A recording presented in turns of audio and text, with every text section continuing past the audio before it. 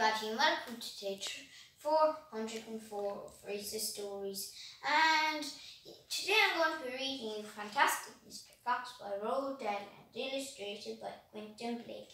And I'm going to be reading you chapter 9 called Mr. Fox Has a Plan. For three days and three nights this waiting game went on.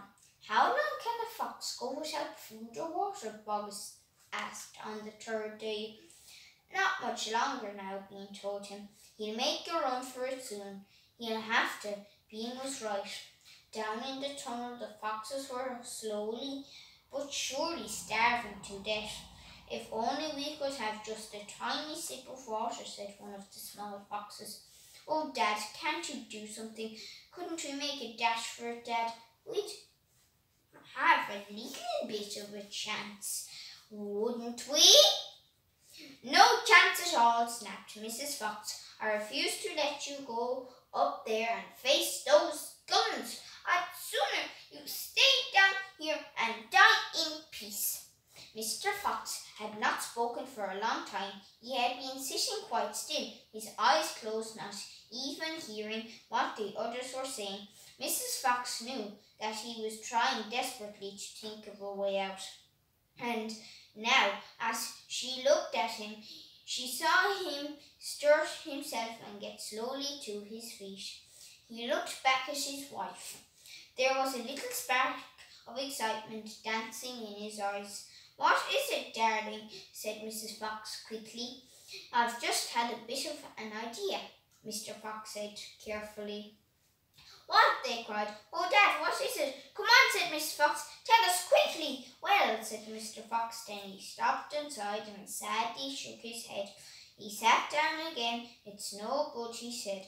It won't work after all. Why not, Dad? Because it means more digging, uh, and we aren't, and we aren't any of us strong enough for that after three days and nights without food.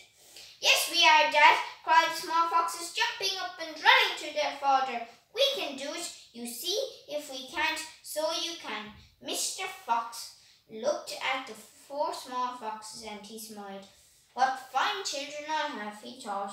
They are starving to death and they haven't had a drink for three days, but they are still undefeated. I must not let them down. I, I suppose we could give it a try, he said. Let's go, Dad. You want us to do.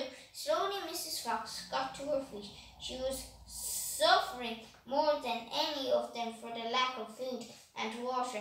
She was very weak. I'm so sorry, she said, but I don't think I'm going to be much help. You stay right where you are, my darling, said Mr. Fox. We can handle this by ourselves. The end. I hope you enjoyed that wonderful chapter in this book called Fantastic Mr. Fox by Roald Dahl and illustrated by Quentin Blake.